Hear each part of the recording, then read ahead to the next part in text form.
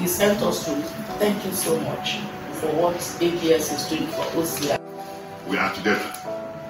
Thank you. We are you. together. In, in, in integrity, We are here to appreciate you, to thank you for what ABS is doing for us.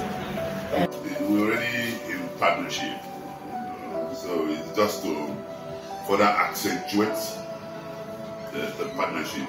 ABS has always been with us. In 2019, he came back from Australia. He had an interview here and we had a flag off at uh, UNICEF.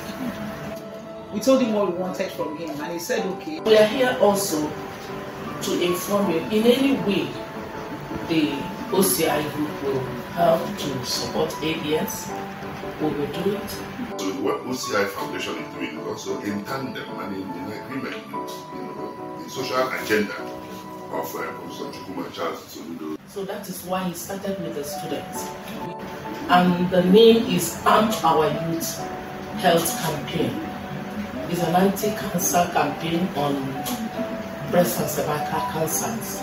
It's a foundation that is doing you know, what the government, as long as what you're doing is to benefit the Anambra. It was introduced into Anambra State education curriculum in civic education.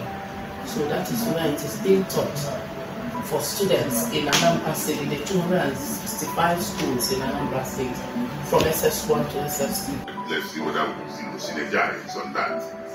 be couched around cervical cancers. You understand? It will help to promote what we are doing and what you are doing and to benefit everybody. Absolutely. Yes. So I want to thank you so much. Our prayer is that um, at the end of the day, that all these discussions will come to fruition. So we have a partner who is immersed in promoting the language, especially among the bụ maazị ee mụnwa bụ onye chọpụtara otu ozi ome Igbo otu na-akwalite omenala na asụsụ Igbo ọkachasị asụsụ Igbo ọkachasị asụsụ Igbo. Enwere atụmatụ ozi ome Igbo tụpụtara ọ kpọrọ sogo node sogo n'ụdị sogo n'ụdị sụba gụba nụba ma ya